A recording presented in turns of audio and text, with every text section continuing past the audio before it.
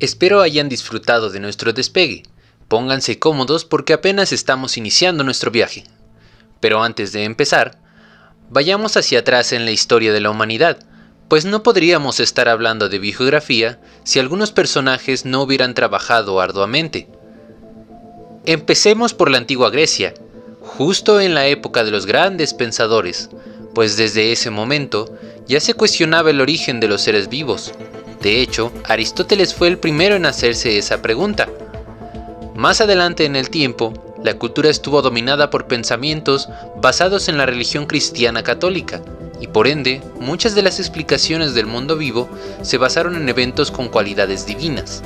Por ejemplo, se puede explicar la distribución geográfica actual de los sistemas vivos mediante la existencia del arca de Noé, la cual se construyó para salvar a las criaturas de la ira de Dios, en donde se resguardó una pareja de cada animal. Entonces, a partir de donde el arca atracó al final del diluvio, se dispersaron muchas de las especies que conocemos, colonizando las áreas que hoy ocupan. Hasta este momento, a esta etapa podríamos nombrarla como la preclásica. Posteriormente, Linneo, autor que marca el inicio de la biografía clásica, intentó dar una explicación más natural de la distribución de los seres vivos, la cual describe un centro de origen o jardín del Edén. En él existían gran variedad de climas en diferentes pisos altitudinales, donde en cada uno predominaban condiciones ecológicas ideales para las diferentes especies. Cuando el diluvio terminó y el agua regresó a su nivel normal, las especies se dispersaron a las áreas que habitan actualmente, es interesante pues observamos dos conceptos importantes de la biogeografía, centros de origen y dispersión, ideas predominantes en este periodo. Además de Linneo, otro autor importante en este periodo fue el conde de Buffon, quien descubrió que se pueden encontrar especies distintas en ambientes similares. El periodo clásico puede considerarse que termina con la publicación del origen de las especies de nuestro favorito Carlos Darwin. Simultáneamente, Alfred Wallace también propuso una teoría evolutiva basada en hechos de la distribución geográfica.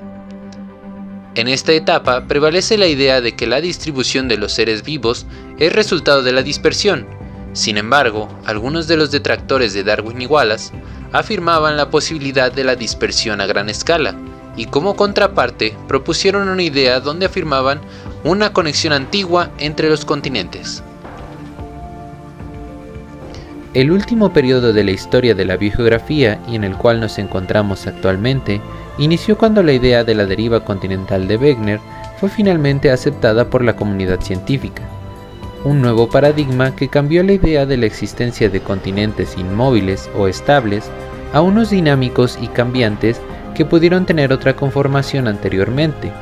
Esto claramente provocó que muchos autores replantearan sus ideas, por otra parte, la sistemática filogenética propuesta por Willy Henning representó un gran avance al proponer que se puede construir la historia de un taxón con base en el dispersalismo y un cladograma taxonómico.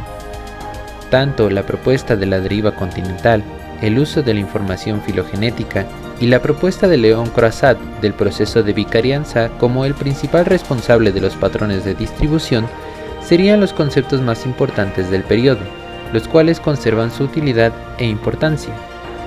Es importante resaltar la incorporación de datos moleculares, derivados del boom de la década de 1960, la propuesta de modelos ecológicos, además de la incorporación de nuevas herramientas computacionales, incluyendo a la informática para la biodiversidad, que revolucionaría por completo las metodologías y facilitación de muchos análisis. Asimismo, la biogeografía se fue adaptando a los retos biológicos actuales para hacerles frente utilizando todos estos recursos, conceptos, metodologías, herramientas, ayudando de esta manera a entender y solucionar los problemas.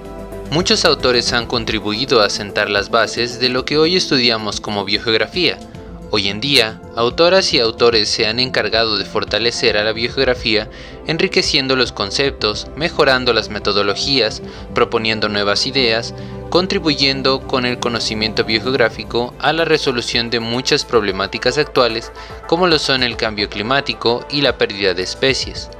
Inclusive, los conocimientos del biogeógrafo son aplicables en otras áreas del conocimiento, pues la complejidad de la disciplina permite incursionar en otros campos, siendo muy amplia la aplicación de estos conceptos. Esperamos hayas disfrutado de este segundo episodio. No te muevas ni un centímetro porque esto apenas está comenzando.